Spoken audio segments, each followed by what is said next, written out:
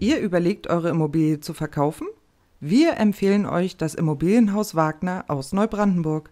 Sie bewerten eure Immobilie kostenlos und unverbindlich. Das junge, moderne und dynamische Team steht euch schnell und beratend zur Seite. Vor allem in der Region Müritz und Mecklenburgische Seenplatte zeichnen sie ihre Marktkenntnisse aus. Mit einem akademischen Grad in der Immobilienwirtschaft steckt auch ein gewisses Know-how und Expertise dahinter. Sie erzielen für euch den höchsten Verkaufswert am Markt.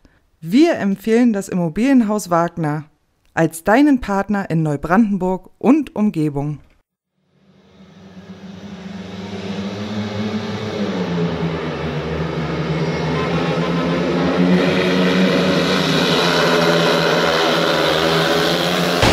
Startband, der Speedway Podcast mit Micha und Ebi.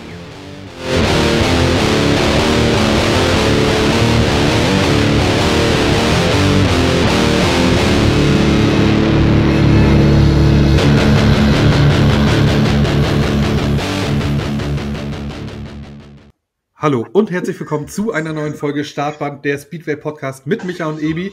Und äh, heute gegenüber sitzt mir wie immer erstmal in Brandenburg der gut aussehende René Ebi Eberhardt. Herzlich willkommen, Ebi. Ja, grüße Micha. Grüße nach Rügen, auf Rügen, in Rügen. Ja, mit der grünen Spur. Du weißt ja, die grüne Spur, die nach Rügen führt. Genau. Und heute tatsächlich, wie du schon merkst, wir haben es ja vorher schon ausprobiert, ohne Verzögerung. Ich habe endlich eine richtige, stabile Internetleitung an meinen Computer gekriegt. Vielen Dank an meinen Schwiegervater, der heute hier 22 Zentimeter dicke Wände durchbohrt hat, damit das Kabel endlich mal verlegt worden ist. Ja, das wurde ja auch Zeit, ne? Also es war ja echt eine Katastrophe beim letzten Check. Ja, also ich muss ja dann gleich nochmal sagen, dass die Schuld diesmal nicht bei mir oder nicht bei dir lag, wie ich es immer behauptet habe, sondern dass meine Schuld war. Aber du weißt, äh, von wegen hin und her schieben die Schuld, das kann ich immer ganz gut, nicht? Ja, alles ähm, gut. Bevor wir jetzt anfangen mit unseren Gästen, die wir gleich noch vorstellen werden, möchten wir mal kurz aufmerksam machen auf ein Thema, äh, was vielleicht viele von euch in letzter Zeit mitbekommen haben. Und zwar ist äh, ein Fahrer, der mir persönlich als Freund auch relativ nahe steht, wirklich ein, ein widerliches, ekelhaftes Missgeschick passiert. Und zwar ist äh, bei Kevin Wölbert die Garage abgebrannt. Und das ist in dem Fall so schlimm, dass da seine komplette Ausrüstung für die Saison drin war, die mit vernichtet worden ist, äh, als auch die Wohnung für den Mechaniker, äh, den er sonst immer beschäftigt. Und äh, wenn ihr vielleicht dort helfen wollt mit was auch immer, sei es 5 Euro, die ihr euch habt, oder vielleicht keine Ahnung was, was immer ihr auch geben könnt oder wollt, äh, schaut doch mal auf seine Facebook-Seite, beziehungsweise bei uns auf die Seite. Wir werden den Beitrag nochmal teilen mit dem Spendenkonto und lasst vielleicht ein bisschen Unterstützung da. Ja, Genau, ne? also ganz, ganz schlimm. Von mir auch, auch alles Gute nach, äh, nach zu Kevin, wie nach man das sagt, nach Heidhof. Mhm. Äh, also bei allem Unglück sind alle heil rausgekommen, finde ich total wichtig. Äh, Material kann man ersetzen. Klar, die Heizung ganz schlimm, ne, mit kleinen Kindern und so. Ja, also, genau, genau. Die Heizung stand nämlich noch in der Garage mit drin, die sein ja. äh, Haus auch mit Wärme versorgt und äh, ja, wichtig, wie du sagst, natürlich, denen geht's gut. Ich hab's äh, tatsächlich genau. früh morgens klingelte mein Telefon um sechs weil auf einmal äh, Romy war unterwegs, sie ist ja Krankenschwester, war gerade auf dem Weg zur Arbeit und hörte, äh, in Heidhof äh, ist auf einmal jemand abgebrannt mit zwei Speedwehrmaschinen. Ja, das kann ja nur einer sein, ne? Hm. Und ja, ich hab's äh, wir auf Ostseewelle gehört. Ja, genau, auf Ostseewelle war das. Und wir haben dann halt äh, relativ schnell auch ein Spendenkonto aufgemacht und sagen schon mal Danke an alle Spender, denn wir haben tatsächlich, äh, kann auch jeder einsehen in der Spendenaktion bei äh, Better Place, wir haben innerhalb von 72 Stunden schon mal 12.000 Euro gesammelt. Ja? Ganz stark. Also vielen, vielen Dank an die Leute, die dort gespendet haben. Und da war wirklich von, äh, mein Sohn hat das Taschengeld gespendet, wo du denkst, einwandfrei, das ist also wirklich eine coole Aktion bis hin zu großen Geldbeträgen, wo dann Leute auch nochmal eine Firma gesammelt haben und so weiter. Ja, vielen Dank. Ich denke, wir belassen das jetzt mal dabei. Kevin steht jetzt, glaube ich, äh, erstmal lange genug im Rampenlicht und hat auch viel zu tun. Ähm, wir kommen doch einfach mal zur heutigen Sendung, Ebi. Wen haben wir denn heute da? Äh, ja, den häufig vergessenen, aber nichtsdestotrotz, äh, glaube ich, den medienwirksamsten Verein im Moment. Ne? Also er, den MSC Kloppenburg, ja? Genau, und zwar hat der MSC Kloppenburg bei uns äh, unser Gewinn, der Gewinnspiel hört sich doof an, mag ich nicht so gerne sagen, unser, ja, unser Wettbewerb gewonnen, äh, Startbahn sucht den Lieblingsverein. Und äh, das war wirklich eine grandiose Jagd, muss man sagen, denn tatsächlich haben wir, als wir die ähm, diese, diese Aufstellung der Vereine geschrieben haben in diesem Programm, wo man dann abstimmen konnte, den MSC Kloppenburg vergessen. und haben ihn dann, glaube ich, ja, e-, extrem spät, drei der vier Tage auf äh, Anweisung. Nee, nee, nee, es war ein, ein Tag später. Ein Tag später? Na, ich ja, weiß ja. nicht genau. Na gut, ich, ich vertraue dir mal. Mein Zeitgefühl ist nicht das Beste. Ich bin ja schon fast 35, ne? Da hört das ja mit dem, mit dem Gedanken und Denken schon so auf. Äh, einen Tag später reingeholt und die haben wirklich einen Start hingelegt. Als erstes hat äh, der MC Güstrow weit vorne gelegen, kurz davor Landshut und innerhalb von, weiß ich nicht, zehn Tagen haben die über, ich glaube, 2048 Stimmen organisiert. Ja, aber auf jeden Fall hammer viel und ich glaube, wir sollten noch gar nicht so lange beide quatschen, ne? weil die Sendung, der Preis war ja eine Stunde Verein für den Sieger, mhm. ne? Äh, um zu zeigen, was so wichtig ist, ja, was so ein Verein ausmacht. Ich würde sagen, Micha. Dann fangen wir jetzt mal mit dem Einspieler an, den uns Hintergrundkarte gespielt habt. Den hört ihr jetzt. Bei den Fans offenbar sehr beliebt, in der Geschichte des Bahnsports fest verankert. In der Vereinshistorie sind Namen von Topfahrern wie Jan Keter, die Konradi-Brüder, Mario Trubkovic, Sönke Pedersen, Tobi Kroner, Robert Lambert und Lukas Finnhage zu finden. Und was sowohl eine niederländische Musikkapelle sowie dicke Strohballen mit dem Verein zu tun haben, das hört ihr in unserer heutigen Folge. Ihr habt abgestimmt. Und hier ist sie für euch, unsere Folge mit dem MSC Kloppenburg. Vielen Dank für den Einspieler, Katja. Und ich sage herzlich willkommen an Burkhard Timme, Lukas Fienhage und Mario Trubkovic. Hallo, hallo. Hallo. Hallo. Moin Männer. Schönen guten Abend. Aus Kloppenburg, genau. Lukas, Entschuldigung, ich habe dir gleich direkt reingesprochen. Wir sagen jetzt heute mal Hallo nach Kloppenburg. Und Lukas, wo befindest du dich gerade? Ich befinde mich gerade im relativ sonnigen Südfrankreich. Oh, das, das traust du dir wirklich noch zu sagen. Wie war denn das Wetter heute bei dir? Sehr gut. Also ich kann nicht klagen. Wir hatten so gefühlte 20 Grad, äh, Sonnenschein. Ähm, ja, also Wetter ist top. äh, wir kommen später nochmal drauf zu sprechen, was du da machst. Ich möchte erstmal das Wort übergeben äh, an äh, Burkhard und Mario. Mario, schön, dass ihr es einrichten konntet. Ist ja mit der Technik doch nicht immer so leicht. Äh, vielen, vielen Dank erstmal. Und die erste Frage, verzeiht ihr uns nochmal, dass wir euch ständig vergessen? Ja, wir laden euch dazu extra am 9.9. nach Kloppenburg ein, damit ihr seht, dass es sich gelohnt hat, uns noch mit reinzunehmen. Und äh, ja. ja, kommt vorbei am 9.9. und überzeugt euch von uns.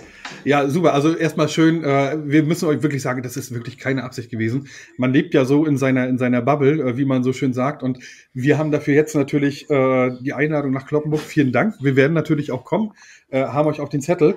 Äh, aber wir können doch gleich mal direkt einsteigen. Du hast es schon erwähnt. Night of the Fights. Erzähl doch mal, was dies Jahr bei euch abgeht bei Night of the Fights. Ja, was wird bei uns abgehen? Im Prinzip das, was die letzten zehn Jahre auch abgegangen ist. Okay, wir hatten ja jetzt zwei Jahre Pause. Es ist sozusagen ein Restart. Wir müssen natürlich äh, einiges wieder auf Vordermann bringen. Äh, ich bin ja persönlich für, für das Fahrerfeld zuständig. Ähm, so ein paar Gedankengänge habe ich schon im Kopf, äh, auch schon mal eine Liste gemacht. Und dann mal gucken, wie, wie sich das Jahr so bei den Fahrern entwickelt. Und dann werde ich äh, Anfragen stellen und schauen, wen wir euch dann am 9.9. präsentieren können. Ja, also da, äh, also wir freuen uns auf jeden Fall. Ich war ja schon ein, zwei, drei Mal da bei euch. War immer mega Veranstaltung. Und ich würde, bevor ich zu Burkhardt komme, gleich mal eine Anschlussfrage an, an Mario, die auch vom ja. Zuhörer von uns kam. Wie schafft man es über Jahre doch so ein Top-Fahrerfeld zu einer deutschen Veranstaltung zu holen. Also ihr habt ja wirklich immer Grand Prix-Fahrer da, wenn ich kann mich erinnern an Jason Doyle, an Greg Hancock. Äh, ist es nur Geld oder ist da auch viel schon, ja, Kloppenburg ist geil, kommt mal vorbei, reden die Fahrer untereinander. Vielleicht kann Lukas da auch dann danach vielleicht mal was zu sagen, ob man darüber redet. Ja, sag mal was dazu, wie schafft man's? Ja, es ist ja so, wir haben, wir sind jetzt im 72, 72. Jahr, wir haben ja vorher die Grasbahn gehabt, ähm, hatten ja dann fünf Jahre eine Pause und haben dann die Speedwaybahn gebaut, weil wir kein größeres Gelände bekommen haben. Wir sind ja praktisch äh, ins kalte Wasser gestoßen worden. Das erste Jahr war noch äh, Josef Kleene der Rennleiter, der stand natürlich da, du, wo kriege ich jetzt Speedwayfahrer her? wir waren bekannt für die Grasbahn, da wussten wir, wen wir ansprechen mussten. Aber das erste Jahr, das, das war schon schwierig. Tobi, Josef Kleine hat mit Tobi Kroner gesprochen. Also wir haben die bekannten Speedway-Fahrer in Deutschland angesprochen, um, um Fahrrad zu bekommen. Das hat ja dann auch geklappt. Äh, Josef Kleine hat dann aufgehört. Ich bin dann praktisch in seine Fußstapfen getreten als äh, Sportleiter, Rennleiter. Habe dann das große Glück gehabt, äh, Sebastian Mischok kennenzulernen. Er ist ja schon ähm, im Osten Deutschlands unterwegs gewesen, was Speedway-Rennen in Tetro angeht und kannte sehr viele Fahrer. Ihn habe ich angerufen, habe gefragt, du äh, Sebastian, wie sieht das aus? Ähm, würdest du mich dabei unterstützen?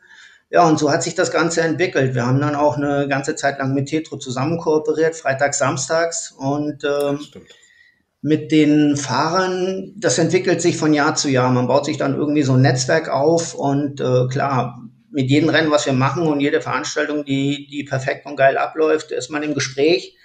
Einige Fahrer fragen an, andere spricht man an und dann kommt man irgendwie zueinander und äh, hat ein super Fahrerfeld. Also wir haben jetzt in den letzten zehn Jahren 85 verschiedene Fahrer auf unserer Bahn gehabt. Ja, und die 85 Fahrer reden wieder mit anderen Fahrern und so läuft das dann. Ja, krass, danke, spannend. Also schönes Netzwerken, ne? Ja, äh, ohne Netzwerk geht das nicht, weil ja. ich brauche keinen äh, polnischen Speedway-Fahrer direkt ansprechen, der hat gar keine Zeit, der sitzt auf seinem Motorrad, der fährt. Und, und wie gesagt, äh, es gibt ein Netzwerk, das ist Jacqueline Seidlitz, die ist für die skandinavischen Fahrer zuständig. Dann habe ich noch ein, zwei polnische Freunde, die, die, die helfen mir Richtung Osten rüber. Sebastian ist dabei, also wie gesagt, Holger Lund äh, kennt auch sehr viele Fahrer. Also das sind so die Personen, die mhm. uns unterstützen oder mich unterstützen, wenn es um gute Fahrer geht. Ja, super spannend. Ne? Man denkt, man ist so einfach, einfach mal einen Fahrer anrufen und der kommt dann, aber so ist es ja scheinbar nicht. Ne? Äh, nein, auf keinen Fall. Und klar, dann, dann geht es auch ums Geld. Äh, muss man gucken, können wir das machen, kriegen wir das hin? Burkhard sagte ja auch schon mal, Budget hat auch seine Grenzen. Und, und dann gucken wir halt. Aber unsere Bahn ist halt speziell. Klar, Jason Doyle war jetzt schon dreimal da. Highlight war Craig Hancock, dass er hier war und, und Antonio Lindbeck, Nils Christian Iversen. Es waren schon super Fahrer da und je weiter die nach vorne fahren, umso besser ist es für mich, weil es ist kein Geheimnis, äh, die Fahrer, die wollen eine Fixsumme haben und äh, das verrechnet, dann, verrechnet man dann mit Punktgeld und Platzgeld. Und wie gesagt, je weiter sie nach vorne kommen, umso angenehmer ist es für den Verein. Sehr schön. Ihr habt ja, ja jetzt wirklich gerade absolute Top-Fahrer genannt, die man äh, als allererstes, also zumindest äh, so wie ich mich in meiner Blase bewege, äh, nicht mit Kloppenburg ähm, in Zusammenhang bringt merkt ihr tatsächlich als Veranstalter, also egal ob, ob äh, du, Burkhard oder Mario, merkt ihr wirklich den Unterschied auch an den Zuschauerzahlen, ob ihr jetzt deutsche Topfahrer da habt oder auch Grand Prix-Fahrer? Ist das zu merken? Also ich glaube mal, äh, man merkt es schon irgendwo, wobei jetzt ist momentan nicht so richtig greifbar. Und zwar, was ich ja Mario eben schon sagte, Mario ist natürlich, er hat eine gute Verzweigung und wir haben ein Top-Fahrerfeld, vor allen Dingen ein sehr ausgeglichenes Fahrerfeld, was auf unserer Bahn sehr wichtig ist. Ja. Und äh, da kannst du auch die Nummer eins im Grand Prix sein. Das heißt aber nicht, dass du in Kloppenburg gewinnen wirst, weil wir haben eben diese kleine Bahn mit 260 Meter, knapp 260 Meter und äh, das hat man auch zum Beispiel letztes Jahr gesehen. Wir hatten die 250er WM. Also ich habe noch nie so spannende Rennen gesehen, weil logisch, die machen dann auch mal einen Fehler. Da gab es viele Überholmanöver und so weiter und so fort. Äh, auch mal auf die Frage zurückzukommen. Also ich behaupte, man, ja, man merkt es teilweise, aber wir machen natürlich auch viel Kooperation, dass wir mit Tetro das zusammen machen. Also die einen Tag vorher oder wir einen Tag vorher oder so wie dieses Jahr ist zum Beispiel der Fechter Grand Prix am 10.9. und Kloppenburgs Freitagabend am 9.9. Also da kann man von The Night of the Fight und diese 18 Kilometer nach Fechter, die kann man theoretisch zu Fuß rübergehen. Dann ist man wieder ausgenüchtert. Und ich bin ja selbst schon viele Jahre unterwegs im Bahnsport. Äh, mein Vater hat mich, glaube ich, mal mit acht, neun, zehn Jahren hat er mich das erste Mal mitgenommen nach Schesel. Ich glaube, das war die erste, zweite Veranstaltung. Und seitdem ist dieser Virus so ein bisschen da drin. Und ich fahre natürlich, wenn ich äh, jetzt nach Süddeutschland fahre, mache ich natürlich selbst auch gerne Doppelveranstaltungen oder ins Ausland fahre. Ne, weil für eine Veranstaltung ist das ein bisschen viel meistens. Aber wir sehen natürlich zu mit Fechter Traditionsverein in der Langbahn. Und dann, wenn wir da eine Kooperation machen, das macht natürlich Spaß, ist natürlich interessant. Äh, da kommen die Langbahn-Interessierten, die gucken sich Speedway an, die Speedway-Interessierten bleiben dann nur noch, gucken sich einen Langbahn-Grand Prix an und ich glaube, so befruchten wir uns immer gegenseitig. Ja, super. Wo du gerade Langbahn ansprichst, wir haben ja, ich habe ja nicht umsonst angeteasert, einen Weltmeister hier mit an Bord. Äh, ja, Lukas, erstmal nochmal herzlich willkommen und danke, dass du die Zeit gefunden hast auch. Und ja, Fechter ist speziell, Kloppenburg ist speziell. Äh, wie schafft man es, ja, auf der einen Seite Langbahn-Weltmeister zu sein und dann auf so einer Bahn wie in Kloppenburg zum Beispiel ja auch mit vorne mit der Weltspitze mitzumischen? Sind das nicht zwei völlig verschiedene Paar Schuhe? erstmal nochmal schönen guten Abend. Ähm, ja, was soll man dazu sagen? Schwer ist es andersrum, also von der Langbahn auf der Speedwaybahn rüber, aber letztendlich äh, tut sich das alles nicht ganz viel und man macht dann in dem Sinne einfach nur seinen Beruf und äh, übt das aus, was man liebt und das ist für mich in dem Sinne einfach mein Motorrad zu fahren und in dem Moment ist das gar keine große Umstellung oder wie man das nennen soll. Es ist einfach ähm, purer Spaß und pure Emotionen, die da dann zugange sind. Man genießt einfach jeden Meter, den man fährt und jeden Meter natürlich, den man in Führung liegt. Ja, es sind ja nur wirklich auch zwei Top-Veranstaltungen da bei euch, ne? Also Night of the Fights und Fechter ist ja auch mal mega gut besucht. Äh, merkt man da eigentlich so Zuschauer oder spürt man das? Hört man das beim Fahren? Gute Frage, das hätte ich tatsächlich auch gefragt wie, wie soll ich das nennen? Also während des Laufs blendet man natürlich alles aus. Also in dem Moment, wo du deinen Helm aufsetzt oder sowas, dann ist alles ausgeblendet und sobald du durch eine schwarz-weiß karierte Flagge fährst, dann schaltet sich die Umwelt oder die, die alles um dich herum wieder ein und dann nimmst du erst wieder was wahr.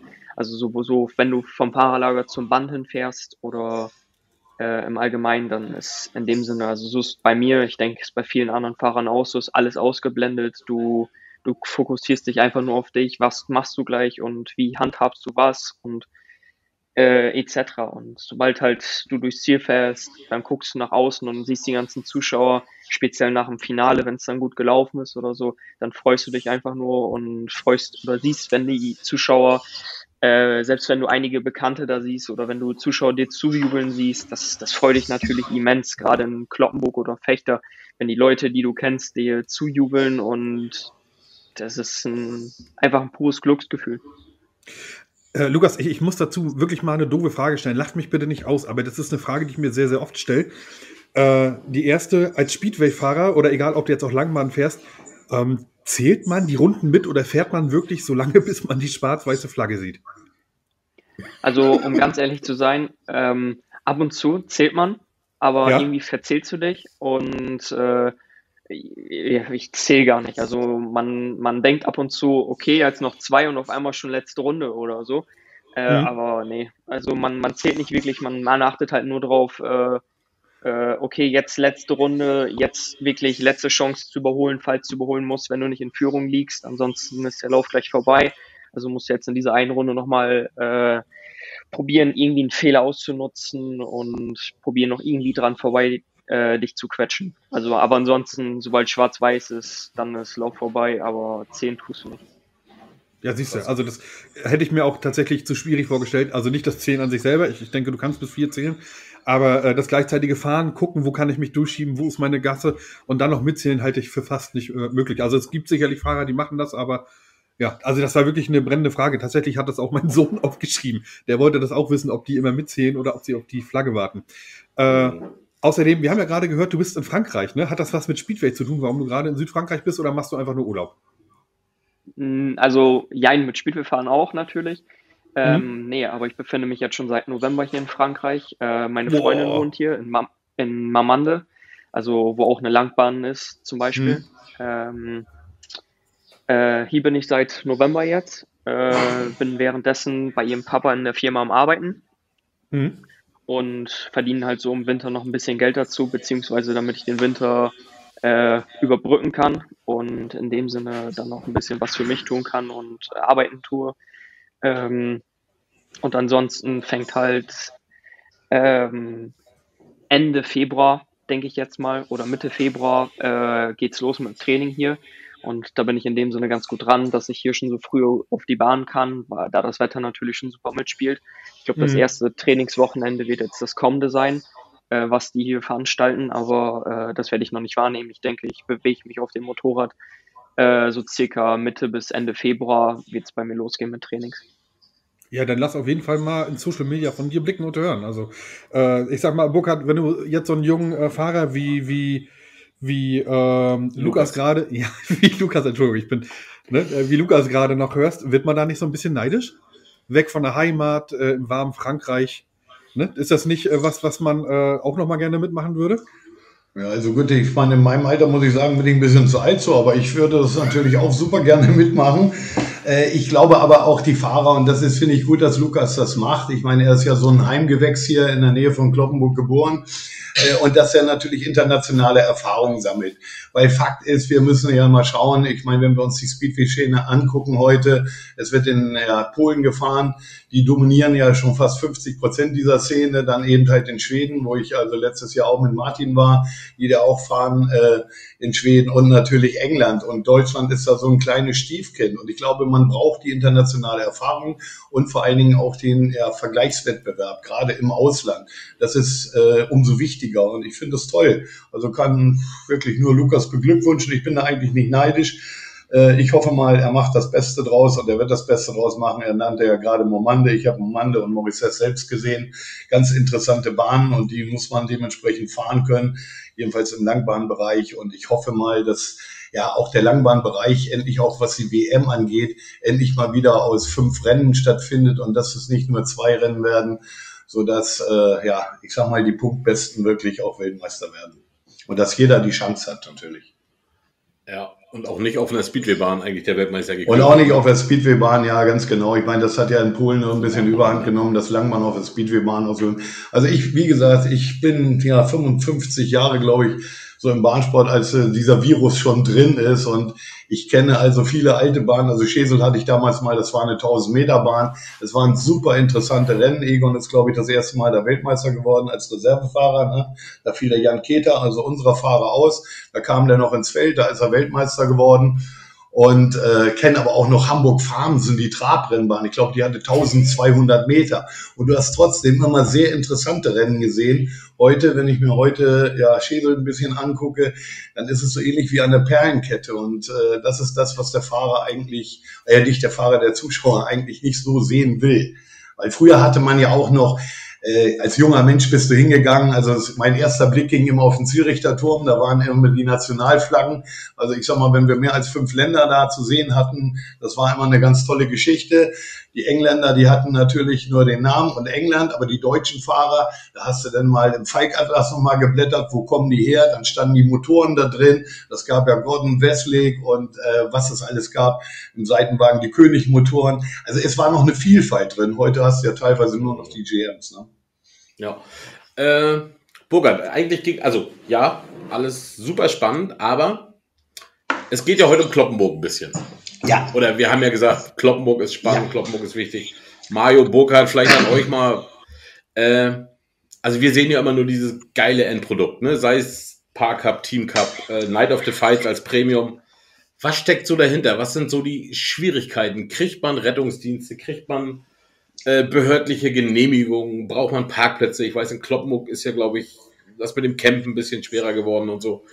Mhm. Was sind so da die Sachen, die, die Leute nicht sehen? Ne? Also was möchtet ihr vielleicht auch mal preisgeben? Was so ja, also wie gesagt, der Mario hat es ja vorhin angesprochen, wir sind ein Verein, der gegründet wurde 1950. Das hat sich mal ergeben, dass also viele Leute, die Motorrad gefahren sind, haben gesagt, wir machen mal so ein Rennen und daraus entstand ja mal dieser Verein.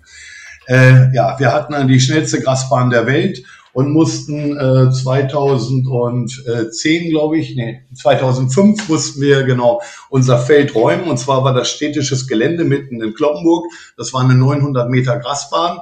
Dann haben wir fünf Jahre lang äh, nach geeigneten Grund gesucht. Ich meine, hier ist eine sehr ländliche Region, aber ich kam mir manchmal vor, äh, ich habe mit dem damaligen Vorsitzenden Günter Hecker da viel zusammengearbeitet und wir haben wirklich gesucht und ich kam mir manchmal vor, ich bin mitten in Nordrhein-Westfalen, irgendwo in Bochum oder sonst wo. Es gibt wirklich kein Land.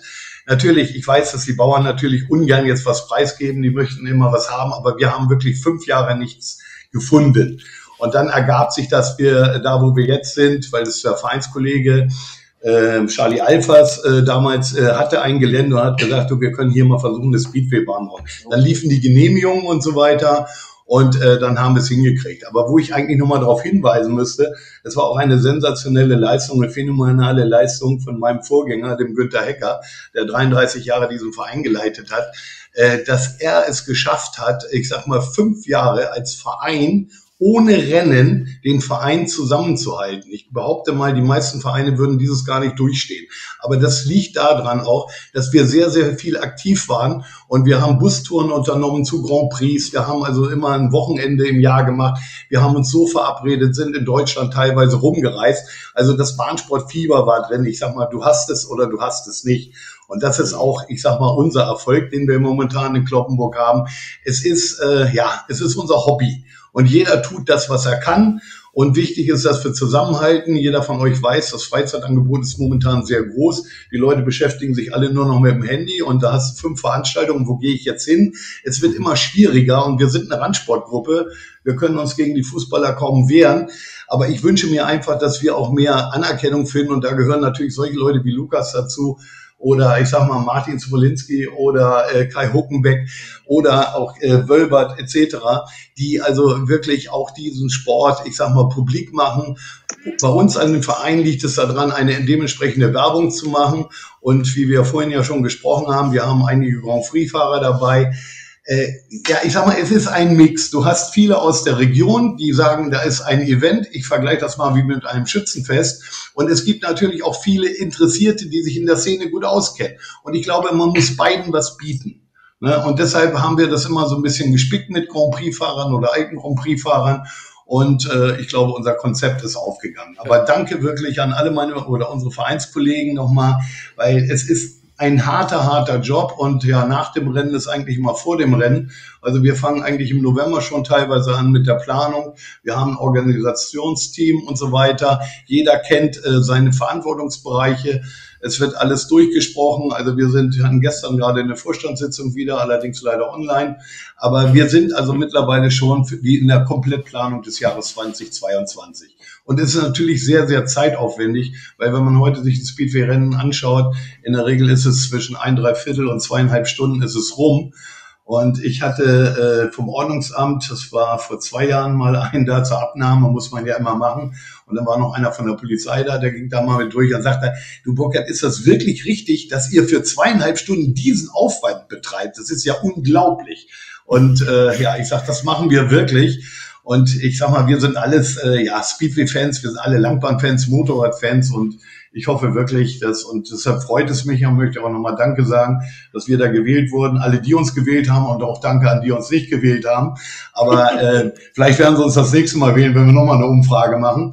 Nee, aber äh, wir müssen zusammenhalten. Wir sind eine Randsportgruppe und ich glaube, wir können auch nur ja. überleben, wenn wir wirklich zusammenhalten und natürlich übervereinsmäßig äh, uns nicht neiden, sondern dass wir ja den Schulterschluss wagen und dass wir uns gegenseitig, äh, ich sag mal, unterstützen. Ja, definitiv. Also gerade auch in dieser Zeit und mit der Frage würde ich dann tatsächlich auch gleich weitermachen. Mario, wie schwierig ist es denn jetzt gerade ähm, zu Corona-Zeiten und wir müssen dieses Thema leider ansprechen. Das ist leider präsent, auch wenn es natürlich viele nervt, weil es äh, natürlich äh, nicht nur, na gut, die Fußballer dürfen ja spielen, äh, ne? da sagen wir jetzt mal nicht zu, aber weil es natürlich auch den Bahnsport betrifft und auch äh, also allgemein den Bahnsport, wie schwierig ist es denn jetzt in, nach und während der Corona-Zeit? Wir sind ja immer durch die Pausen des Lockdowns äh, und der, der, des Teil-Lockdowns immer wieder im normalen Leben mal zurückgekommen im Sommer. Wie schwierig ist es denn, äh, so mit der Vereinsarbeit und auch mit dem Verein wieder zurückzufinden? Also ich sag mal so, der Verein ist auch gut vernetzt. Äh, wir haben unsere WhatsApp-Gruppen, wir tauschen uns aus und klar, jetzt, wenn nicht viel los ist, ruht alles ein bisschen, aber die letzten zehn Jahre waren sehr intensiv, waren sehr anstrengend. Wir sind stetig gewachsen. Äh, vielleicht tat das auch ein bisschen gut, mal jetzt ein Jahr, anderthalb Jahre runterzufahren, um wieder neue Kräfte zu sammeln für 2022. Aber wir konnten uns ja, als das noch möglich war, mit mehreren auch äh, im Stadion treffen, haben unsere monatlichen Versammlungen abgehalten. Ähm, klar, es ist jetzt ein Restart, wir müssen neu aktivieren, aber wir wissen, wo wir unsere Leute erreichen und äh, ich gehe davon auch aus, dass alle dann wieder mit dabei sind, weil alle jetzt wieder heiß sind, eine geile Veranstaltung am 9. September abzuhalten. Und wir können ja jetzt schon am, ich glaube, 23., 24. April üben, weil da ist ja der Speedway Team Cup und der ADAC Cup. Da muss man vielleicht auch nochmal unsere anderen beiden oder die beiden Clubmitglieder erwähnen, das ist Tore Weiner, Weiner und Manny Baker, die ja für das Team Cup Team zuständig sind. Die Mannschaft steht. Ich habe gestern die Mannschaftsaufstellung gesehen, die sieht sehr gut aus. Also ich denke, dass wir da auch dieses Jahr wieder vorne um Platz 1, 2 mitfahren können. Letztes Jahr ist es ja ein bisschen unglücklich gelaufen.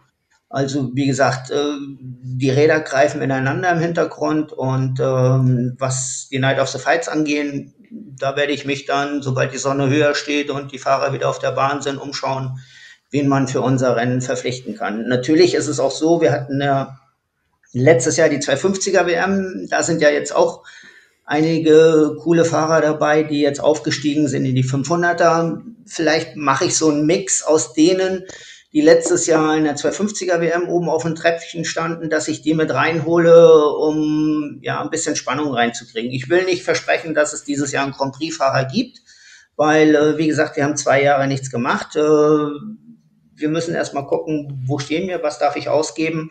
Aber nichtsdestotrotz werden wir ein interessantes super Fahrerfeld haben. Und dann schauen wir mal. Wir haben ja auch unsere Fahrer, wie gesagt, äh, Lukas, René Deddens, Martin Smolinski, äh, die sind äh, zu 100 Prozent dabei. Ähm, Kai Huckenbeck habe ich auf der Liste, da muss ich mal schauen. Ist es natürlich auch immer eine Geldfrage, klar, ein paar ausländische Fahrer und dann geht's rund. Ja, sehr schön. Ich, ich habe dazu gleich noch eine Frage. Ja, wir haben jetzt gerade ähm, über die Junioren-WM 250 Kubikzentimeter gesprochen. Ich frage mich immer so als Laie, der also keinen Einblick hat, äh, wie man ähm, solche, solche Veranstaltungen irgendwie an Bord zieht äh, frage ich mich immer, wie, wie kommt man denn äh, zu so einer Ausschreibung? Also wo kommt da irgendjemand äh, von der FIM oder von weiß ich nicht woher und sagt, ey Kloppenburg, wollt ihr das machen? Oder ist es eher eine Bewerbung, die man dann äh, an, an die FIM oder sowas rausgibt, um äh, so eine Veranstaltung zu sich nach Kloppenburg zu holen? Ja, da muss man ein bisschen diplomatisch vorgehen, weil ähm, Armando Castagna hat einen Sohn, das ist Paco Castagna. Und äh, den habe ich ein Jahr als es im Gespräch war, wir wollen mal eine WM herholen, dann, dann habe ich ihn ein Jahr vorher zu uns eingeladen zum Rennen. Und ja klar, er ist gefahren und äh, konnte dann halt seinem Vater erzählen, erklären, wie geil Kloppenburg ist. Äh, dann ist Burkhardt natürlich in, als, als Vorsitzender an Armando rangetreten, sage ich jetzt mal so. Ja, und so wird ein Schuh draus. Mit Osborne Cola oder ohne? Äh, nee, das war mit Ramazzotti aus Italien. Genau. ah, schlau, schlau, schlau. Wir haben ihm auch einen Antipasta-Teller serviert. Sehr gut. Äh, Antipasti. Lukas, wo wir bei Antipasti sind, ist das auch so ein Gericht für dich? Also, das war jetzt eigentlich nicht die Frage, aber vielleicht mal ganz kurz. Antipasti, ist das nicht so, so eine Art Paprika oder sowas mit so Käse drin? Ja, und, ja, und Oliven. Ne? Und Boah, Oliven ich bin jetzt geil. nicht so der Fan von Ah, nee, ich bin jetzt überhaupt nicht der Oliven-Fan oder so Käse-Fan. Ich glaube, ich habe das so irgendwie mit Nudeln verwechselt. Wie heißt das denn? Anti. nee, das ist, das ist Pasta. Pasta, Teller, Pasta. Pasta, Pasta ja. genau. also, wir nehmen lieber Nudeln. Nee, äh, Lukas, Spaß beiseite. Äh, Kloppenburg, äh, zwei Fragen. Wie, wie bist du zu dem Verein gekommen? Also, du bist natürlich da in der Nähe geboren, ne? Also, wurdest du da irgendwie auch hingeschubst von deinen Eltern oder? Und dann habe ich noch eine zweite Frage. Vielleicht kannst du die mal, ja, für mich Laien mit beantworten. Wenn mich ja dumme Fragen stellen kann, ob man Runden zählt, kann ich das auch. äh, wo, wo, wozu braucht man heutzutage eigentlich noch den Stahlschuh? Weil gefühlt hat doch keiner mehr irgendwie ein Bein unten außer am Start. Ähm, den Stahlschuh brauchst du, damit du dir deine Sohle nicht direkt kaputt machst. Ja, aber ähm, du hast den Fuß doch gar nicht mehr unten. Gerade du hast doch auch so einen geilen Stil. Das war jetzt Ironie. Oh. Ähm, aber äh, natürlich, also sonst machst du dir natürlich den Schuh kaputt, äh, aber den brauchst du in dem Sinne nur meist beim Kurveneingang kurz, damit du das so zum Antippen. Also ich weiß gar nicht, wie man das genau beschreiben soll. In den Juniorenklassen brauchst du ihn natürlich sehr, dass du den Fuß in den Junioren A und B äh, äh, nie oben ähm, Union C fängt es langsam an, aber sobald du in dem Sinne die Balance hast, äh, tust ja. ihn hoch. Also das ist, ist so, so eine Gefühlssache. Ähm, ich weiß gar nicht, wie ich das jetzt genau beschreiben soll. Das ist schwer zu erklären. Das ist irgendwann ist das halt in deinem Fahrstil drinne und mhm. dann, dann ist das einfach Routine. Da denkst du ja gar nicht mehr dran. Du, du benutzt ihn halt kurz, um in die Kurve einzubiegen in dem Sinne. Ähm, aber danach ist das einfach so, so, ja, routinemäßig. Halt. Ja, weil wenn ich sehe hier auf meinem Zettel steht, äh, Speedway Bundesliga-Rennen ab 1974 in Kloppenburg. Da war ja die ganze Kurve noch das Bein unten, oder? Da kann ich mir erinnern, an Flutlichtveranstaltungen hat es immer so gefunkt, das kam noch von dem Stahlschuh, oder? Das gibt es doch heute nicht mehr. Ja, doch, na klar. Definitiv. Also doch ab und zu hast du es noch. Also gerade ja, auf doch. Kloppenburg, wenn hm. du dann über den, den Asphalt, ach, Asphalt wollte ich gerade sagen, Beton oder sowas, sind da auch ja. natürlich so ein paar Marmorstückchen im Beton. Ähm, aus Omis alter äh, Kommode, wollte ich gerade sagen. ähm, Ja, ihr lacht. Ähm, nee, ab und zu funkt es natürlich, aber das ist dann, wenn es dann auf Beton geht oder wie, wie auch immer, also wenn es sehr, sehr hart geht. Ja. Entschuldigung. Ja, aber sag, sag mal, wie, also um das Thema mal zur Seite zu nehmen, das können wir vielleicht andermal vertiefen. Äh, wie, wie bist du zu Kloppenburg gekommen oder wie siehst du die Veranstaltung, wie siehst du die Jugendarbeit? Du kommst ja selber aus der Jugendschmiede vom MSC Kloppenburg, ne? Erzähl mal, plauder mal ein bisschen aus dem Nähkästchen. Also ich muss mal ganz vorne anfangen. Also ich bin angefangen überhaupt äh, zu fahren. 2005 war das, meine ich. Zu meinem Geburtstag habe ich eine kleine PW50 gekriegt von Heinz Wollering damals noch. Ähm, also durch ihn bin ich dann letztendlich erst zum Motorsport gekommen. Ähm, er war damals Sportleiter und technischer Kommissar von Fechter. Ähm, also durch Papa, der hat es damals selber betrieben, drei Jahre lang, 1988, 89, 90. Äh, nur mhm. Langbahn. Ähm, aber dann durch Heinz bin ich dann halt da letztendlich reingerutscht und da hatte Papa keine Wahl mehr mit mir zu Rennen zu fahren, ähm, weil ich dann heiß auf Rennfahren war, bin dann in Fechter mit der PW, äh, ich glaube, eine ganze Runde hinterhergefahren, weil die so langsam war und alle anderen hatten schon KTMs. Da war ich natürlich sehr, sehr unzufrieden und habe das Ding dann abends an die Seite gestellt und gesagt, entweder ich kriege was Schnelleres oder ich höre auf. ähm, ja, und dann am Ende des Tages, eine Woche später, gab es dann eine KTM und ich glaube, nächstes Jahr wurde ich schon deutscher Meister oder habe in Fechter dann mit Maximum gewonnen. Und dann in der 125er Klasse, ich glaube, das war mein erstes Jahr letztendlich. Ähm, durch Mario war das, glaube ich, sind wir dann zum MSC Kloppenburg gekommen. Mario berichtigte mich, aber ich glaube, irgendwie war das dann über dich. Ich kann mich gar nicht mehr genau so daran erinnern. Ähm, aber irgendwas ist da dann gelaufen und äh, dann bin ich da im Kloppenburg reingerutscht und dann war Fechter mein Langbahnverein und Kloppenburg war dann halt mein Spielwehrverein. Und mhm. das handhaben wir bis heute so und damit fahre ich ganz gut. Also ich weiß es nicht mehr genau, wie, wie, wie Lukas dazu kam. Ich kenne ja seinen Vater ganz gut, Uwe Fienhage.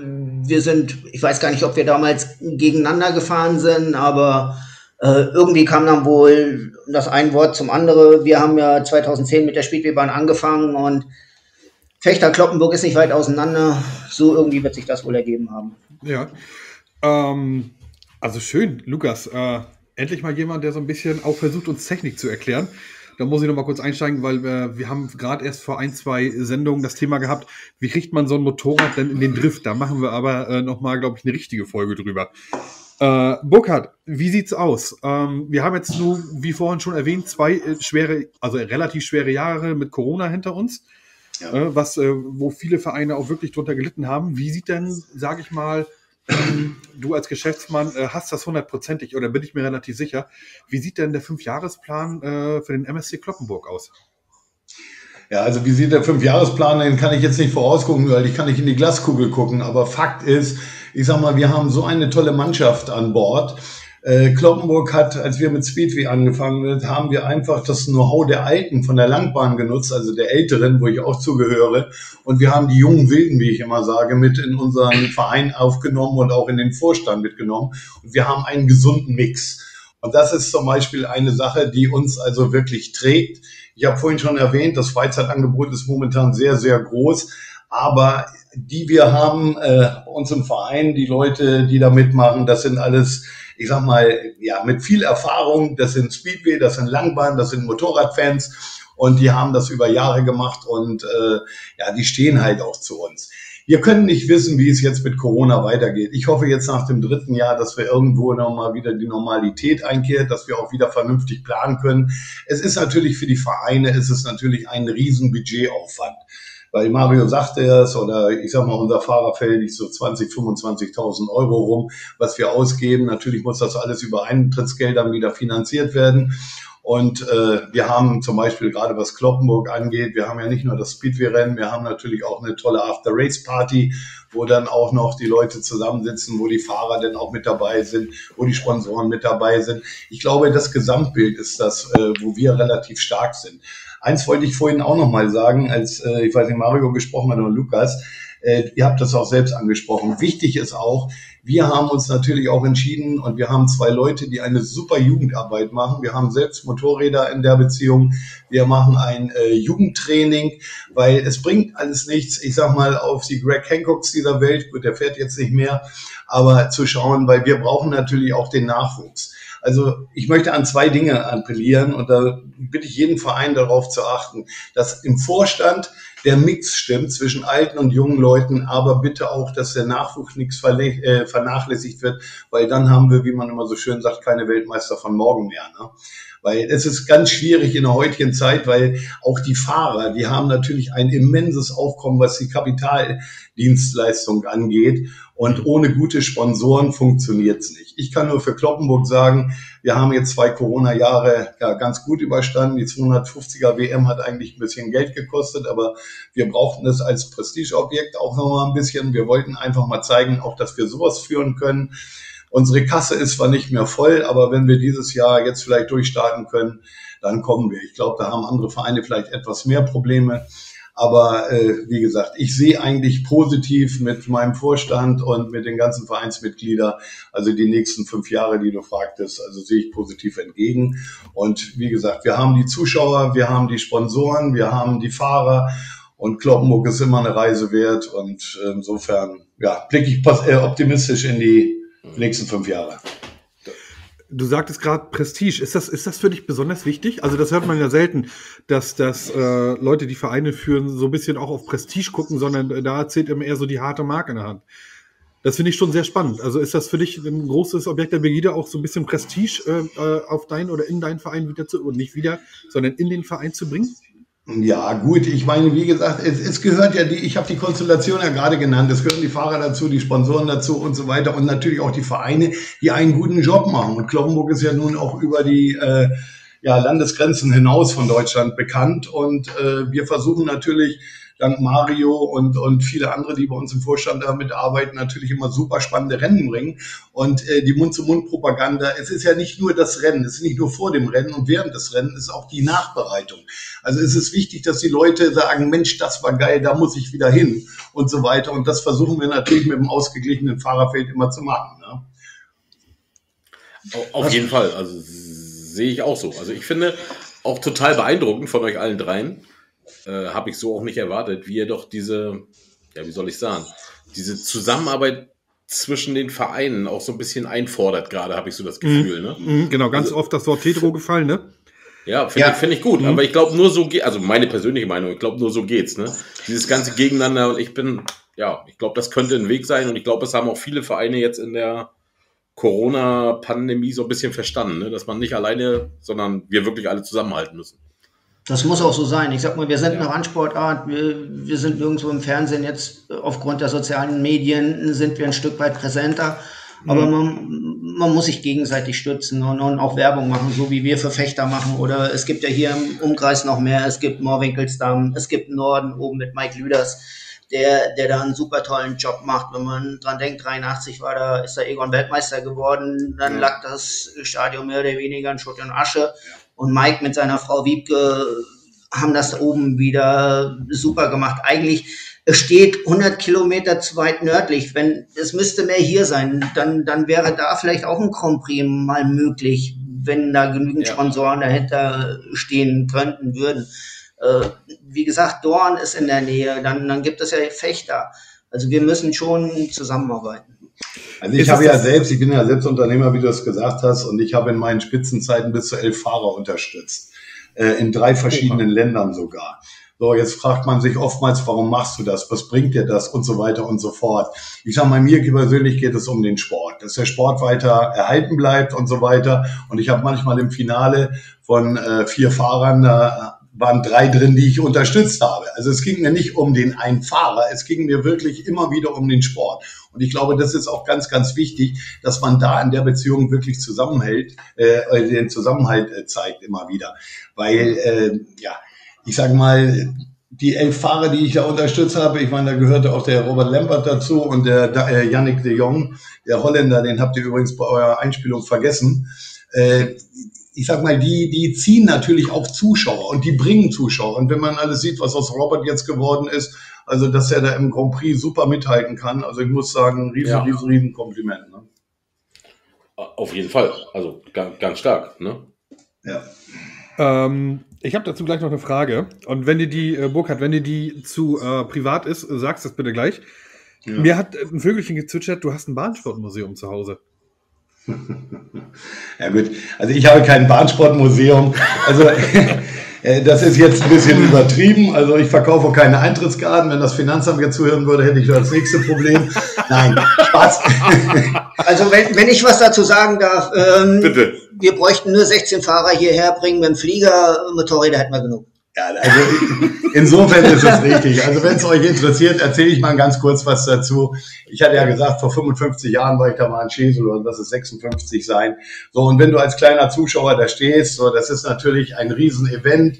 Äh, ich sag mal, ich war mit einem Freund immer da äh, und seinem Vater und wir haben ungefähr einen Monat nach dem Rennen haben wir immer noch darüber gesprochen. So, und es war immer mal ein Traum, auf so einem Motorrad zu sitzen.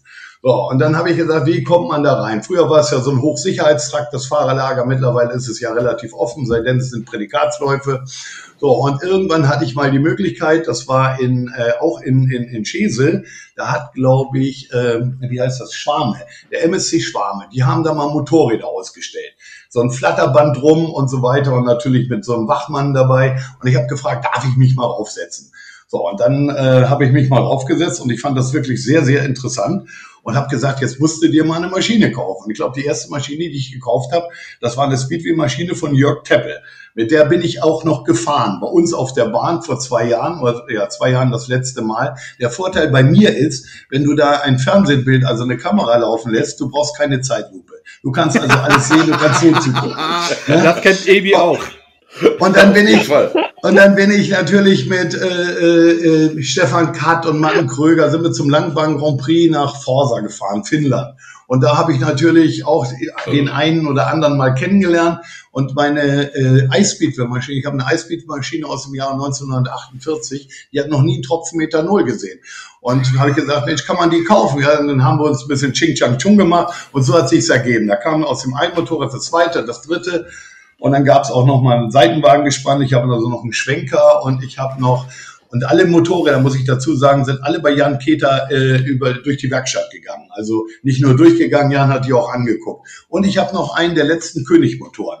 Den habe ich über Alois Wiesberg, über Jan Keter bekommen. König kennt ihr, ist dieser Bootsmotorenhersteller mit diesem Megasound. Ja, ja, ja. Ja, tatsächlich, da bin ich, da bin ich tatsächlich ein bisschen neidisch. Äh, ich würde tatsächlich auch gerne eine Maschine in meiner Wohnung stehen haben. Ich habe meine Frau da schon überredet. Und eins habe ich noch. Eins habe ich noch vergessen, vielleicht muss ich es auch noch mal sagen. Also von Greg Hancock habe ich auch eine Maschine, inklusive Overall und äh, Helm und äh, Stiefel, aber auch von Martin Smalinski seine Maschine. Wenn ihr das noch mal im Internet schaut, hier Oakland, Neuseeland, glaube 2014 war das, die mhm. steht auch bei mir inklusive Overall und natürlich die zweifarbigen Handschuhe, weil Martin ist ein bisschen abergläubisch und er hat einen weißen und einen schwarzen Handschuh da angehabt. Ja.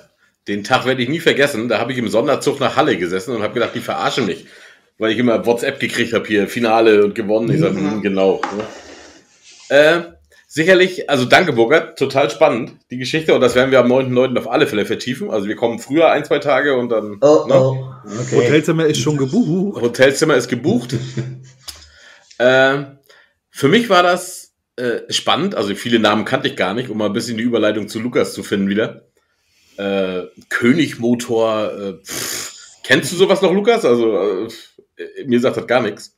Alois Wiesbock kenne ich noch. Der war irgendwie mal mit Egon so die Zeiten, ne? Oder? Mhm. Boah, Königmotor. Also, ich kenne Kalle König, äh, aber ansonsten kenne ich keinen König. Ähm, nein, Spaß beiseite. Ich weiß, dass also vor ein paar Jahren äh, ist Gerd Riss sogar noch mit einem Königmotor.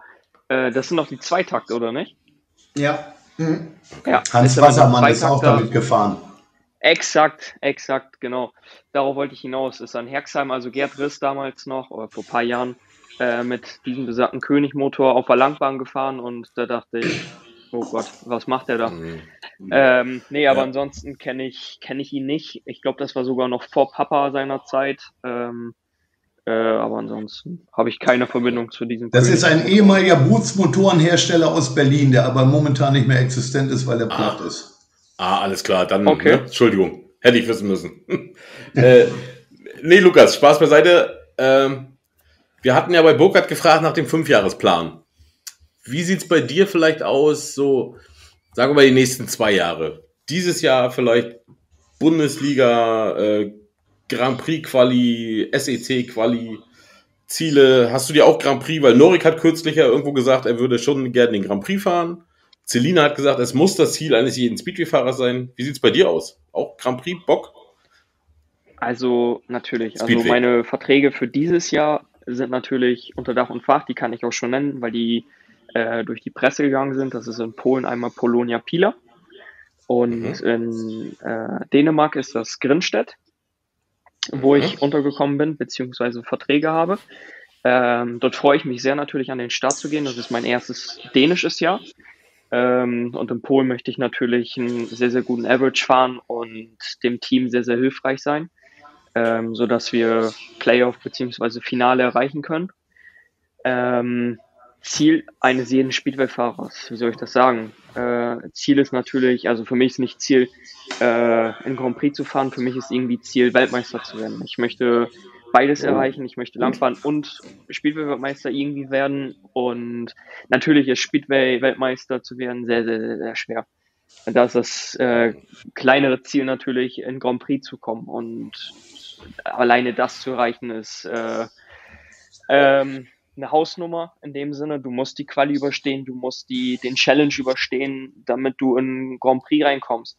Und äh, alle Achtung auch gerade jetzt gerade vor Martin. Er hat es schon geschafft. Er immer war wieder, ne? äh, und er steht immer so kurz davor und äh, es würde dem deutschen Bahnsport natürlich helfen, wenn er wieder reinkommt, sage ich jetzt mal, oder auch wenn er die letzten Jahre wieder reingekommen wäre. Dann war da die Verletzung, die ihn nicht in eine Karten gespielt hat, die, die, hm die, die ihn zurückgeworfen hatten, wenig, muss man sagen, leider. Es war äh, beim Challenge auch der eine Aufsteiger, ne? Genau, der berühmte also, Punkt. Sind so, sind, so, ja. sind so Kleinigkeiten, aber an so einem Tag, ja. äh, an dem besagten Oder eine verzählte Runde. muss natürlich alles passen. Da mhm. muss alles passen, da muss mhm. alles ins kleinste Detail äh, funktionieren und da kann so eine Kleinigkeit wie der, wie der Aufsteiger, wie Burkhardt gerade sagte, kann dir natürlich den Platz im Grand Prix für nächstes Jahr kosten. Und das sind natürlich ärgerliche Dinge, die du, die dir lange im Kopf bleiben, beziehungsweise wo du dran drüber nachdenkst, Mensch, jetzt den einen Aufsteiger hätte ich den nicht gehabt, welchen Grand Prix ja. für nächstes Jahr. Äh, das ist natürlich ärgerlich, ne? Also ich glaube, ähm, es ist ich glaube, es ist unheimlich ja. wichtig, Lukas, entschuldige, ich möchte nur ergänzen. Also ich hatte, ja gut, ich bin ja auch Sponsor von Martin mit und äh, natürlich hätte ich mir gewünscht, dass er da reinkommt. Ich glaube, wir in der deutschen Szene brauchen unbedingt mal einen Grand Prix-Fahrer. Ich vergleiche das wirklich mit dem Fußball. Die Jugend braucht ein Idol, wo sie aufgucken kann. Und ich sage mal dann, wenn wir das schaffen würden, ob du das bist, wir haben viele gute Fahrer, ob das Kai ist, ob es Martin ist, ob es Wölbert ist oder wie auch immer. Wenn wir das mal schaffen, einen da zu platzieren für ein Jahr, für zwei Jahre, ich glaube, dann würden wir auch noch mal einen Ruck durch unsere Szene bekommen. Und äh, ja, das würde nicht nur Zuschauer anziehen, auch der Nachwuchs würde dann natürlich, äh, ja, wenn die so ein Idol haben und vielleicht mal mit dem Training machen können und so weiter. Es würde also ganz viel bringen für uns. Ne? Absolut. Ich würde es mir wünschen. Hast du absolut recht, stehe ich voll mit hinter. Wir hatten das Thema schon ein paar Sendungen zuvor. Wir brauchen einen deutschen Grand Prix-Fahrer, definitiv äh, um es dann auch ein bisschen medienwirksamer machen zu können. Und auch eine starke Liga, wo sich die Leute mit ihrem Verein aus der Nähe identifizieren können. Und ähm, das ist jetzt, wie Lukas auch gerade sagte, Lukas, du hast irgendwie Verträge in Polen in Dänemark. Wie sieht es aus in Deutschland? Deutschland natürlich äh, im Spiel der Team Cup für, für Kloppenburg, äh, ja. was natürlich selbstverständlich ist. Ähm, mhm. Aber ansonsten in, in, in der Bundesliga, ich hatte eine Anfrage schon, aber die, die, mhm. die Anfrage war natürlich mit Vorbehalt, wenn überhaupt eine Liga gefahren wird, was noch keiner ah. sagen kann. Mhm. Also es ist, mhm. ist alles in Planung, aber die Planung, die verschiebt sich auch irgendwie jede Woche und dann ist auch noch Corona und irgendwie, mhm. ja, das System, was die auch irgendwie jedes Jahr überdenken wollen oder müssen oder keine Ahnung, das ist, ist alles so vage. Das ist, das schiebt sich immer von Woche zu Woche und dann ist der eine nicht mit dem System zufrieden, dann beschwert sich der eine Verein und äh, ja, dann haben wir auf einmal nur noch zwei Mannschaften, die fahren wollen und dann. Ja, gut. Ach, hm. das ist natürlich dann wieder alles andere als, als, eine, als eine starke Liga, ne? Und da hat man sicherlich als Fahrer auch keinen Bock drauf, oder? Auf so ein Hin- und Hergezicke? Ja, was ist das Hin- und Hergezicke? Das ist dann, ich habe jetzt gehört, dann sollen die Fahrer jetzt irgendwie für die Bundesliga auf einmal ausgelost werden und äh, da denke ich mir, ja gut, das ist jetzt aber nicht dann letztendlich der Verein, für den ich dann gerne fahren würde oder unterschrieben hätte. Aber das ist letztendlich, ich, ich nehme es, wie es kommt, wenn eine deutsche Liga gefahren wird. Also von äh, Bundesliga-technischen her äh, werde ich natürlich fahren, wenn ich äh, angefragt werde, werde ich natürlich fahren. Das ist meine Heimatliga und äh, die werde ich natürlich, äh, ja, wie soll ich sagen, das ist natürlich Heimat.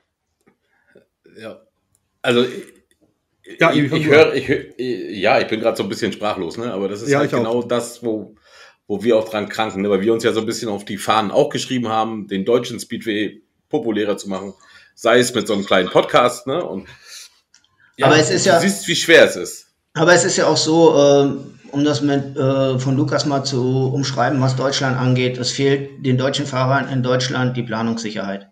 Ja. Weil es wird kreuz und quer alles durcheinander geworfen. Das einzigste stabile, was es gibt, ist den Team Cup im Moment und alles andere, ja, abwarten, was passiert. Und um nochmal ganz kurz darauf zurückzukommen, ich weiß nicht, wie viel Zeit wir noch haben. Ja, zweieinhalb ähm, Minuten haben wir noch.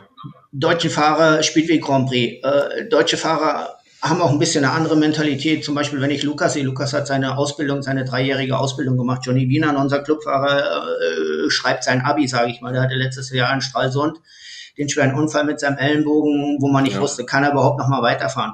Das ist, die deutschen Fahrer sind anders aufgestellt als, als polnische Fahrer oder englische Fahrer. Wenn ich sehe, Robert Lambert ist mit 14 schon hier gefahren. Äh, der hat gerade, der hat seine Schule gemacht und danach äh, ist er nur noch aufs Motorrad gestiegen. Seine Eltern haben so einen kleinen, äh, ja, wie soll man sagen, Ein-Mann-Betrieb für Erdarbeiten.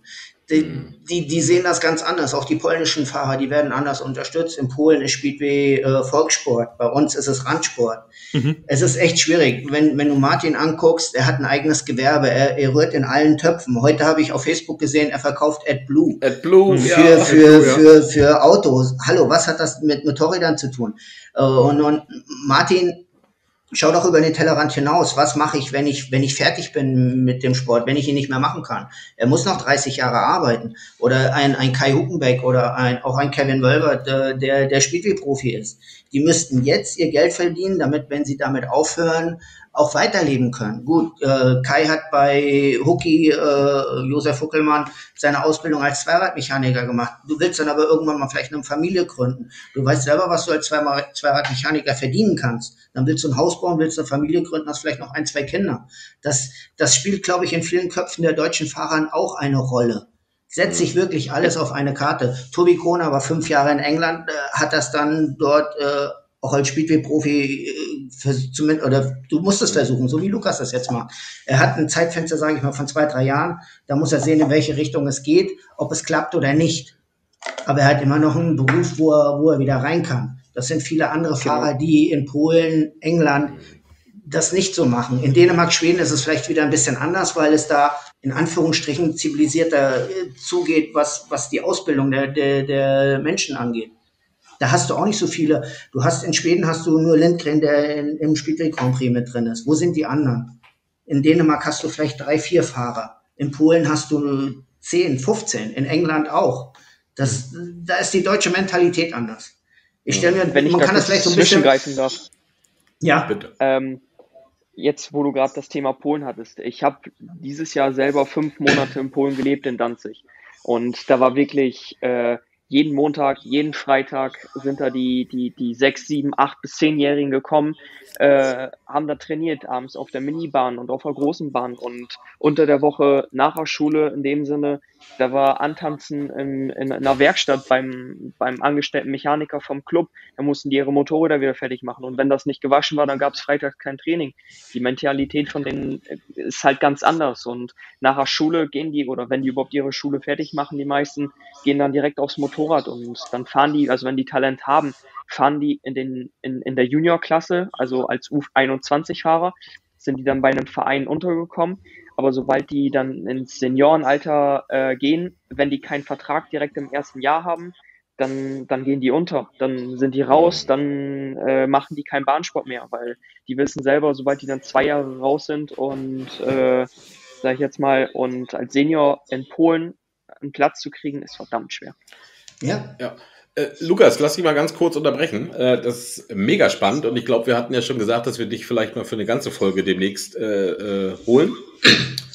Ich glaube, da können wir das noch ein bisschen vertiefen, weil gerade du ja in Polen beide Seiten erlebt hast. Ne? Gut, schlecht. Äh, wie ist es, wenn man aus dem Team fliegt? Ne? Und, äh, sehr gerne, ja. sehr gerne. Ne? Weil, ja. Also ich glaube, es wird jetzt auch zu weit führen. Ne? Also es ist, wir sind schon bei einer Stunde. Und genau. Ähm, Ebi, ich merke, du ja. kannst dich abmoderieren. Soll ich mal versuchen? Schwierig. Bevor, bevor ihr, ab, bevor, ihr, bevor, stopp, bevor ihr abmoderiert. Und zwar, stopp! Ja, klar, wir müssen ja noch mal ein bisschen Werbung machen für unsere Veranstaltung. Wir sind da ja hier. Jetzt, wir, wir, sind, wir, sind, wir sind ja hier, weil es auch um, ich will Lukas nicht ins Wort greifen und Burkhard, ja. aber wir sind ja auch hier, weil wir über den MSC berichten wollen. Genau. Ähm, 2021 hatten wir zwei Rennen, einmal die 250er WM, war super mega geil. Wir hatten den Team Cup, wo die Fighters gefightet haben bis zum letzten Schluss. Äh, Geht langsam, hat, alles gut, alles gut. Lukas genau. hat äh, Maximum gefahren. Bei beiden Rennen hat es geregnet wie aus Eimern. Äh, nur für den 9.9., äh, egal wie die Wetterprognosen sein sollten, wenn es kleine Schweine regnet, wenn es schneit oder wie auch immer. das, das Rennen findet statt. Genau. Ja. Wir haben, wir haben sämtliches Equipment, um die Bahn hinzukriegen. Und wenn da jemand kommt und sagt, das geht nicht, dann holen wir vier 250er Fahrer, die stellen wir auf die Bahn und die zeigen denen, wie es geht. Wir schaffen das. Das haben wir auch Armando Castagna gezeigt. Und nochmal an alle Zuhörer, sagt macht Werbung. Am 9. September abends um 19 Uhr treffen wir uns hoffentlich alle in Kloppenburg. Wir freuen uns drauf. Wir freuen uns auch drauf. Sagen nochmal Danke für die Einladung. Halt, stopp, nochmal, Entschuldigung. Ja. halt, stopp, ja. Endlich äh, geht's los. No, nein, äh, nochmal in eigener Sache, Burkhard, äh, ich glaube, das war im Vorgespräch, hat er es erwähnt. Ähm, ein Clubmitglied von uns, äh, der, so, ja. der ah, ja. soll, soll keine Bettelei sein oder was weiß ich. Nein, ein Clubmitglied von uns, der Sohn ist schwer erkrankt. Äh, wir versuchen jetzt auch noch eine interne Spendenaktion zu machen. Also alle, die jetzt zuhören oder sonstiges, äh, auf der MSC Kloppenburg-Seite auf Facebook, Instagram, werden jetzt noch mal ein paar Bahnsportsachen äh, zur Versteigerung rausgegeben. Das ist, soweit ich weiß, von René Dettens der Fighters Kombi, von Kai Huckenbeck äh, ein neuer Kombi und noch ein paar andere Sachen. Martin Helm. Martin sein Helm. Also es kommen einige Sachen jetzt auf unsere Facebook-Seite oder Instagram-Seite wer daran Interesse hat, werden meistbietend äh, versteigert. Äh, ihr würdet uns da einen super großen Gefallen tun, um zu helfen, dass, dass es dem Jungen wieder besser geht. Das ja, also ich denke, das gilt absolut Micha, zu unterstützen. Und wir hauen, glaube ich, noch mal ein Fanpaket von, äh, von Startbahn der Speedway Podcast mit rein. Das könnt ihr auch mit vorschlagen. Mit, äh, Super, danke. Vielen, vielen Dank. Gerne. Männer, ich habe selten naja, aufgeregt möchte ich nicht sagen, aber ich war selten so angespannt vor einer Sendung wie jetzt. Denn äh, ich wusste im Vorfeld, äh, erwarten mich zwei sehr, sehr redegewandte, äh, erfahrene Männer aus dem Bahnsport. Ich muss aber sagen, dass es dafür, dass wir zu fünf waren, sehr, sehr angenehm und sehr zivilisiert war. Und tatsächlich äh, würde ich gerne noch weitermachen. Ich könnte euch wirklich noch eine halbe Stunde zuhören. Ähm, vielen Dank dafür, dass ihr es so angenehm gemacht habt. Schön, dass ihr da wart. Und äh, ich kann nur noch mal auf den äh, 9.9. hinweisen. Ihr habt gehört, das Rennen findet, egal was da sagtest du, ob kleine Schweine regnet, ne?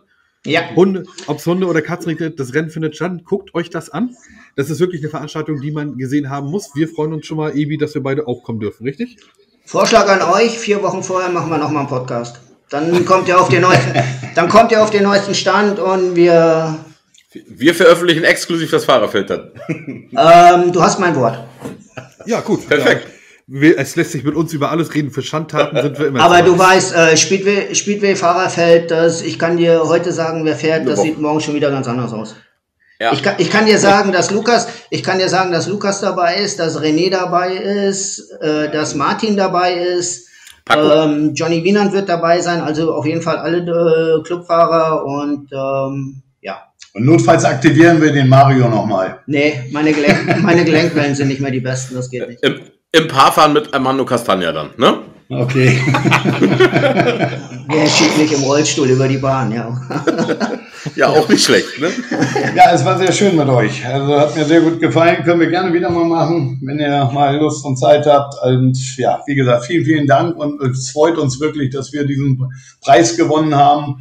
Es ist auch bei uns ein bisschen Premiere, aber ich muss auch sagen, es war ein ganz tolles Gespräch und ja, ich könnte auch noch eine halbe Stunde weitermachen, weil über Bahnsport sich zu unterhalten macht immer wieder Spaß und jeder weiß was und ich finde es einfach toll, so wie es gelaufen ist. Danke. Vielen Dank. Vielen Dank. Gerne. Lukas, viele schöne Grüße nach Südfrankreich. Ähm, ich beneide dich ein bisschen, ne? also allein schon vom Wetter her. Und äh, das Sprichwort heißt ja nicht umsonst wie Gott in Frankreich. Ich hoffe, du isst dann natürlich auch gut und äh, musst keine Antipasti. Pasta. Baby. keine Antipasti, du, sondern Pasta essen. Ja. Du, und, ich stecke hier äh, in einer Saisonvorbereitung. Da, da, ist, da, da ist Diät angesagt. Da, da guckt meine Freundin genau drauf, was ich esse. Ich habe äh, dieses, hab dieses D-Wort schon mal gehört. Ja, aber in Frankreich, in Frankreich musst du doch Wein trinken und Käse essen. Nee, ja, Baguette. Ich trinke gar keinen Alkohol. Hä? Wie, wie das denn? Hä? Burkhard, erklär mal. Also, ich trinke für ihn mit, ich erkläre dir das. Ich trinke für Wusstest ihn mit. Wusstest du das? genau. Da müssen wir noch mal über die Clubmitgliedschaft reden. Also, das, ja, äh, ne? Definitiv. Lu Lukas, vielen Dank, dass auch du da warst. Ähm, vielen Dank. Es war wirklich, wie gesagt, sehr, sehr angenehm. Ähm, ich freue mich auf äh, das Fahrerfeld, wenn wir das dann vorstellen dürfen. Und äh, ich bedanke mich auch bei Ebi, gut, dass wir, oder auch bei Katja natürlich, die uns die ganzen Infos äh, vom MSC Kloppenburg und auch äh, von äh, Lukas zusammengetragen haben. Vielen Dank, Katja. Ebi, schöne Grüße nach Brandenburg. Wir hören uns morgen nochmal und ich übergebe äh, wie dir, oder nein, wie dir, ich übergebe wie immer dir das letzte Wort. Ja, schöne Grüße zurück, Micha, nach Rügen, auf Rügen, nach Rügen. Nach Rügen, ähm, wir sind eine Insel. ich war tatsächlich nicht ganz so aufgeregt, weil ich im Vorgespräch schon mit Burkhardt sprechen durfte und wusste, wenn wir nicht weiter wissen, der rettet uns. Zur Not können wir ihn noch eine Stunde erzählen lassen. Das ist mega spannend. Vielleicht können wir sogar mal eine Sendung auch alleine mit ihm machen, weil ich glaube, er hat noch sehr, sehr viel zu erzählen. Absolut. Äh, finde es richtig gut, das äh, muss ich nochmal betonen, dass ihr wirklich die Vereine alle mit ins Boot geholt habt und nicht äh, gesagt habt, hier Kloppenburg, Kloppenburg, Kloppenburg. Äh, für mich als Schlusswort, na klar, 9. September Kloppenburg, aber geht zu allen Veranstaltungen, die es gibt in Deutschland, Speedway-technisch, egal genau, wer wieder aus. darf, geht hin. Ja. Ob Kloppenburg, ob Tetero, ob Güstrow, ob Stralsund, Olching, egal. Lanz, es gibt Landshut. Tausend ja. Vereine, die es versuchen, Norden. Movidam. Movidam, wie sie alle heißen. Unterstützt die Vereine. Äh die, ja, gerade die Vereine brauchen in der heutigen Zeit, brauchen die wirklich jeden Euro und das ist also wichtig. Genau. Und ich sage mal, ja, die tun ganz, ganz viel hinter den Kulissen. Wir haben es vorhin ganz kurz angerissen und äh, wie gesagt, jeder Verein wird sich freuen über die Zuschauer, die kommen. Und es ist ganz, ganz wichtig, weil ansonsten können wir nicht existieren. Also nur mit Sponsoren geht's nicht. Wir brauchen die Zuschauer und die Fahrer brauchen die Zuschauer, um diese Atmosphäre zu halten. Weil man kann viel im Internet sehen und streamen, das ist äh, wie ein Fußballspiel, aber live ist einfach live. Ich glaube, so können wir die Sendung verlassen. Live ist live. Vielleicht nennen wir sie so. Micha, du Bis sagst dahin. Tschüss. Tschüss, tschüss. Tschüss, tschüss. Tschüss. Tschüss. Ciao, ciao.